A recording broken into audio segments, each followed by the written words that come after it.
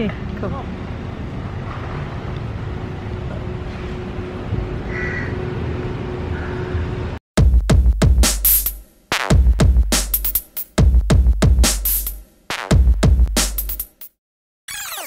Hey guys, welcome back to my channel. My name is Nick.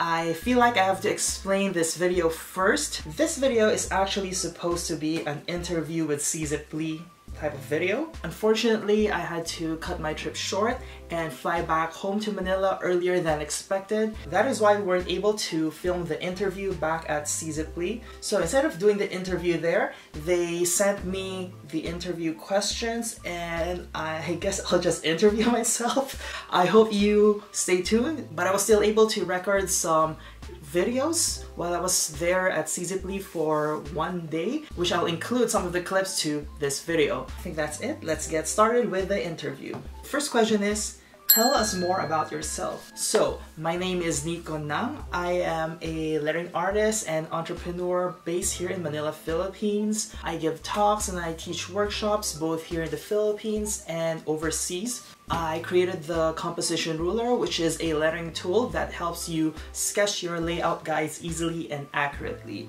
So, what else do people normally share when they're asked to tell more about themselves? What I'm going to do is I'm going to Google some random fact questions to answer because I don't know what else to share with you. So here we go. I think this is a good one. My favorite cuisine is blank, especially blank.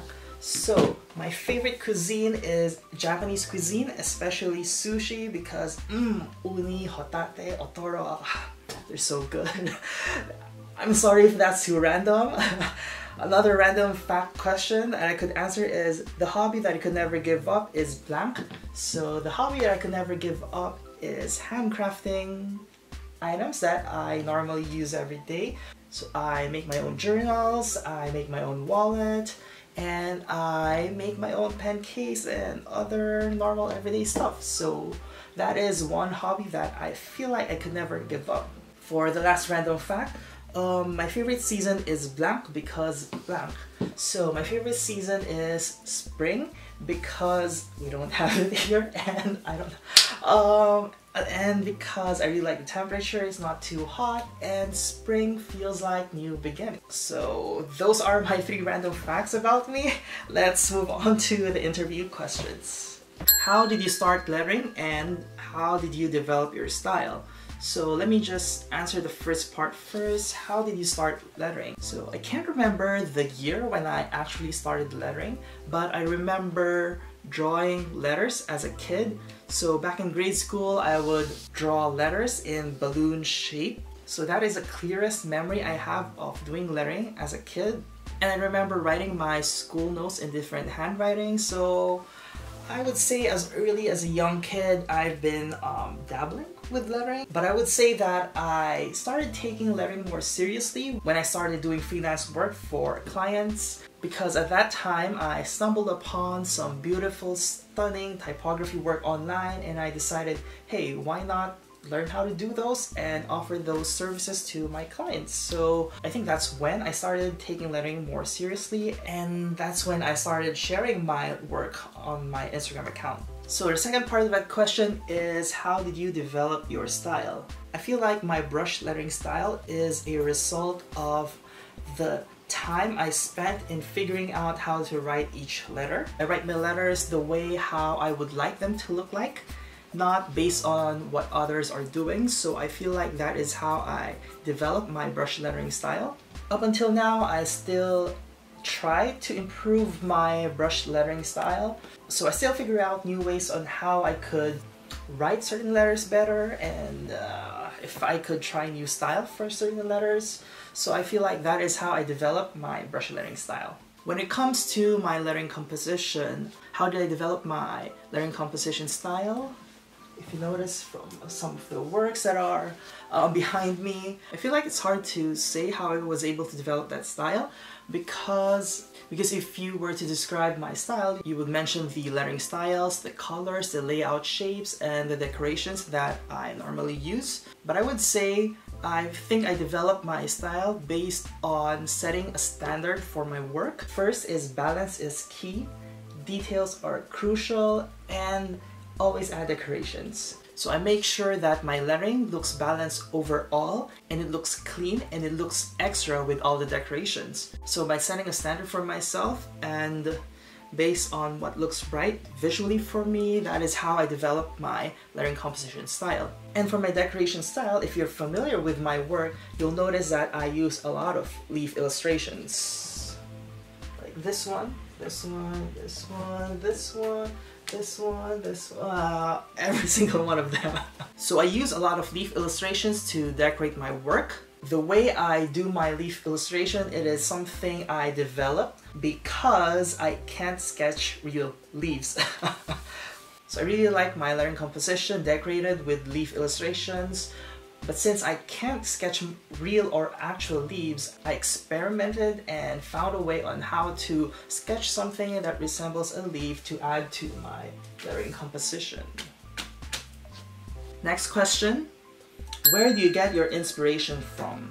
So one of the reasons why I pursue lettering is because I am able to share encouraging truth through it. So I'm most inspired to create whenever I read or hear something encouraging that I feel like I could share to encourage others. So most often I get my inspirations from reading the Bible and listening to worship songs. Next question. What are some of your favorite products? This is an easy question for me. My number one favorite pen is Tombows brush pen, the Fudenosuke hard tip. I have been using this pen for years, and this is the pen that I carry around with me wherever I go, along with my pocket notebook, so that I could practice anywhere. And the size of that pen is just perfect to fit into my jeans. Another favorite product of mine is quite obvious. It's not because I created it, but I really, really found it very useful and essential whenever I do my lettering composition, which is a composition ruler, specifically the 5 inch one. To simplify why I love this product is because it gives me the confidence to create stunning, well-balanced lettering compositions. Before the composition ruler, I'm very intimidated to create lettering compositions. That is why I stick to brush lettering I just can't build my lettering composition without spending too much time on it, and I can never draw guides accurately to save my life, so what's the point, right? With a composition ruler, creating lettering layouts has never been easier and enjoyable. Next question, how did you develop the composition ruler? There is this famous quote, necessity is the mother of invention. I had a problem that I needed a solution, so I engineered a lettering tool that solved that problem. I mentioned in my previous answer the things that hinder me from creating lettering compositions before. First is it takes so much time to sketch out your guides by using a ruler and some random object that you want to draw the shape of. Second, it is nearly impossible to cleanly and accurately sketch out your guides. Whenever I sketch my guides, most of the time it is very heavy on one side or it is not vertically aligned, so what's the use, right? And with my background in engineering, fun fact, I did not take up any art courses. I was determined to create a lettering tool, not just to help me, but to help others as well, to overcome the challenges in creating lettering layouts. Now, sketching your layout guides and shapes have never been easier. Next question. How much time do you spend practicing your art a day or a week? This is a question I don't want to be asked right now because I don't spend that much time practicing as I do before. When I started brush lettering, I would spend from 50 minutes to 30 minutes to even a few hours a night practicing one letter just one letter. But now I don't have a fixed time to practice. That is why I carry around with me my brush pen and my pocket notebook so that I could practice anywhere I go. In church, at restaurants, or when I'm standing in line and I don't have data to scroll through Instagram. But there are still some days when I will just pick up my pen and practice for a few hours, which I find very relaxing to do and a good use for my time. Next question.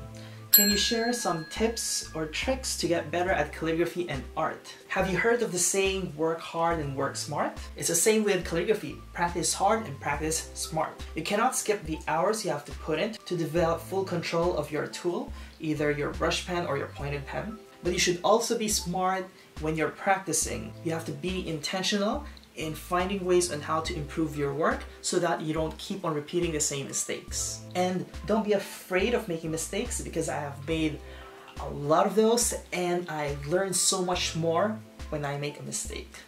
Next question, what is your favorite memory or experience related to your craft? Wow, I can't think of just one specific memory or experience, but being able to combine my passion for design, my passion for teaching, and my passion for traveling because of my craft, it is something I'm beyond grateful for. When I started experimenting with this craft, never in a million years did I think that one day I will be giving talks and teaching workshops here in the Philippines as well as overseas. Being able to experience this because of my craft just blows my mind. And what makes this experience even better is that I got to know a lot of amazing people along the way. Next question. You've been to Malaysia a few times now. What is your favorite food? I'm glad you asked me for my favorite food. You didn't ask me to list out all of the food I like because the list would just go on and on and on. my favorite food so far has been the char kway teow. The texture and flavor of the noodles with the prawns. Mmm, the whole dish is just cooked to perfection.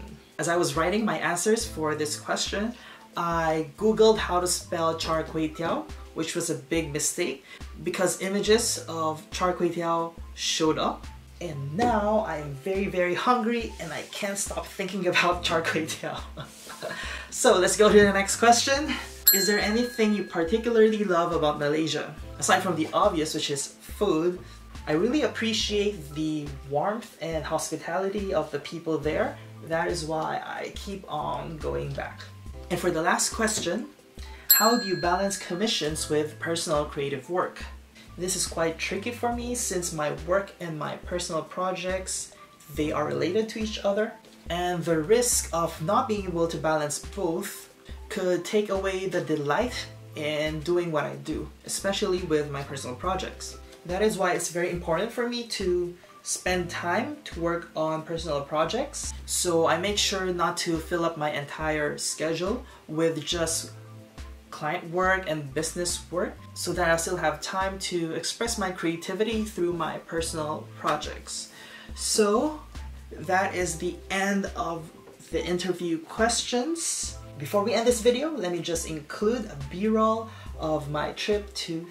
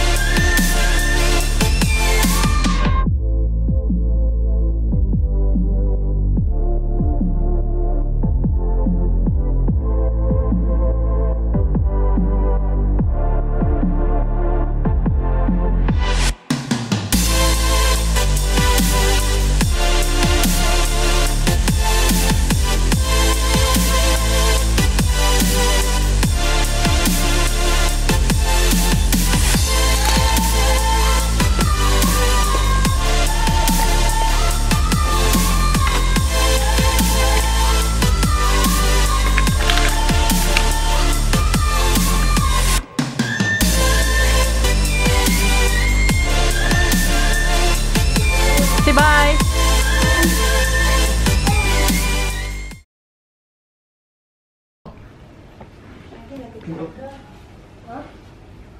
Hey, open, open. I hope you enjoyed watching this interview video with Cziplee, even if I'm just interviewing myself. Is there something that you resonated with my story? Comment down below. I'd like to hear and know more about what you think. Because the reason why I do interviews like this is because I was at your position at one point in my life and there are a lot of people who inspired me to continue pursuing this and to keep going. So I just wish that I will be able to do that for you as well. So don't forget to hit that like button and comment below what you think of this video. Do you like more of this type of video with me and with others as well? Just comment video ideas for me so that I know what you want me to do for my next videos and I will try to do those. Before we end, I would like to thank CZ once again for doing this interview with me. I'll just insert Joy's face with like a bubble asking a question somewhere here, I don't know. So if you're new to this channel, I will put my links in the description below. You can follow me on Instagram at nick underscore the underscore. You can visit my website www.ruehigh.com if you want to get the composition rulers but you could get them at Seasically as well. And subscribe to my YouTube channel, this one for more videos. I used to post every week, but now I'm going to post every week again. So make sure you subscribe so that you will miss out on my next videos. So I'll see you on my next video. And I will see you again in Malaysia for more workshops once everything is back to normal. So have a good day and I hope you stay healthy and safe. Bye.